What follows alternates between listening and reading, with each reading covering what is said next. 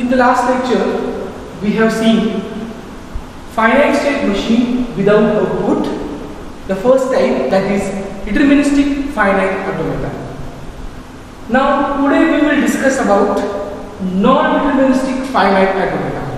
In short, it is called as NFA. Now today we will discuss the formal definition as well as the general definition of non-deterministic finite automata. As the name suggests, non-deterministic means what? From the given state, if there is more than one transitions, if there is more than one transition for unique input symbol to the next state or to the other state, then that type of automata is called as the non-deterministic finite automata.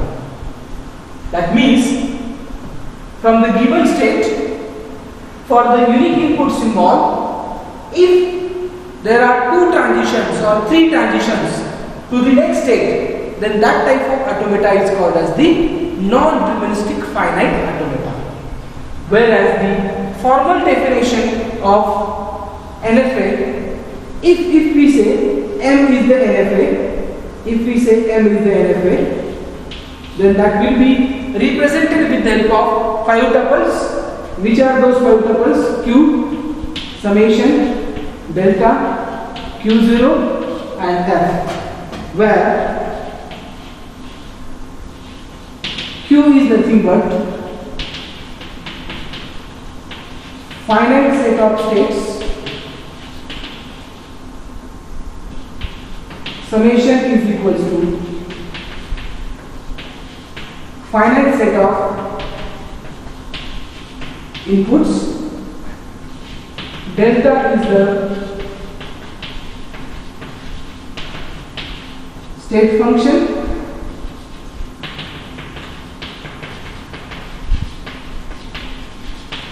Q0 is the initial state whereas f is the set of final states. So this is the formal definition of NFA that is represented with the help of five tuples. So these are those five tuples Q, summation, delta, Q0 and F. Now along with this we have to see the example uh, of this particular NFA. So we'll see one example of NFA. Let us consider there is one state Q0 we can call it as the initial state.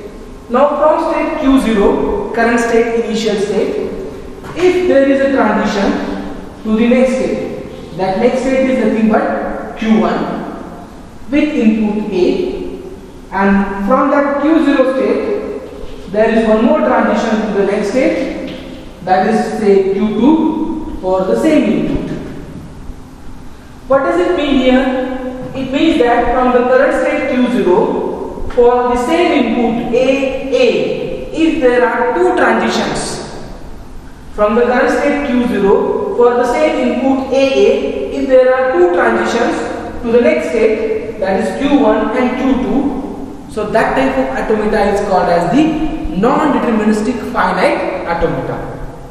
At the same time, you can say here Q1 to Q2 with input B Q1 to Q0 with input B. At the same time, at the same time you can show Q2 to Q0 with input. We can say it is A. That's it. And now here, in this case, if I say Q2 is the final state. If I say Q2 is the final state. Now, this is what, this is the transition diagram of DLFA. This is the transition diagram of the NFA. Now if I want to represent this uh, uh, transition diagram in the form of uh, five tuples, if I want to represent this transition diagram in the form of five tuples, those five tuples, how I can describe or how, how I can represent that transition diagram of NFA in the form of five tuples. So that I can represent, I'll say M I'll say M is equals to the given NFA. M is equals to the given NFA where Q, Q means total number of states. I'll say Q0, Q1, Q2. These are the total number of states where summation is the input. So how many inputs are there? Only two inputs are there. So A comma B. These are the two inputs. Delta I'll say state function then initial state here in this NFA, Q0 is the initial state and last F, F is nothing but state of final state. So I will say Q2. Q2 is the final state. Where delta is the state function, where I can say, where delta is the state function which is represented with the help of state table so I represent that delta in the form of state table with uh, three states Q0, Q1, Q2. Whereas inputs are A comma B. If current state is Q0, input is A, next state is Q1. I write here Q1. If current state is Q0, input is A, next state is Q2.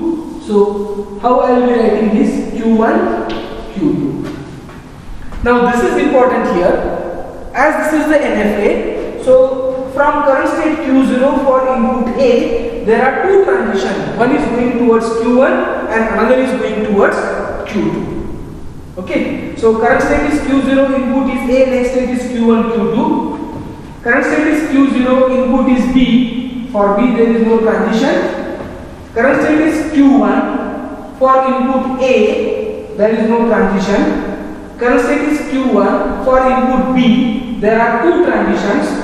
One is towards Q0 and another is towards Q2. Then current state is Q2 input is A next state is Q0 whereas current state is Q2 input is B uh, there is no transition so I'll mark it as a blank. So this is what the state table of NFA. That means non-deterministic finite automata. So the difference between DFA and NFA. What is the difference between DFA and NFA? Okay, that we have to understand what is the exact difference between NFA and DFA. Now here in DFA, if I say delta of that is the state function delta of Q0 with input A is equals to what is the next state?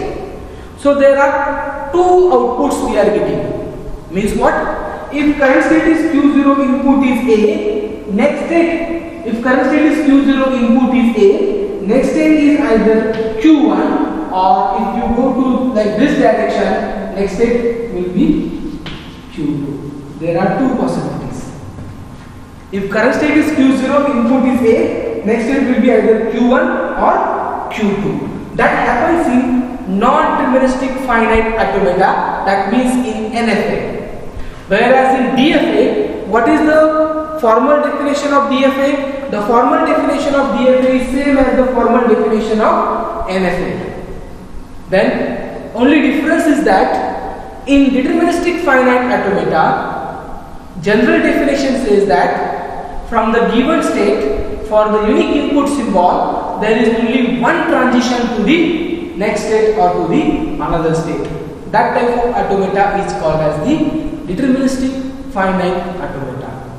Whereas now we have seen in non-deterministic finite automata from the given state for the input symbol A there are two transitions. One is towards Q1 another is towards Q2. So that type of automata is called as the non-deterministic finite automata. So that's it from uh, today's lecture.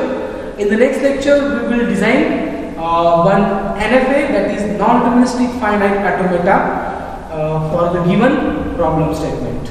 So I'll stop here. That's it uh, for today's lecture.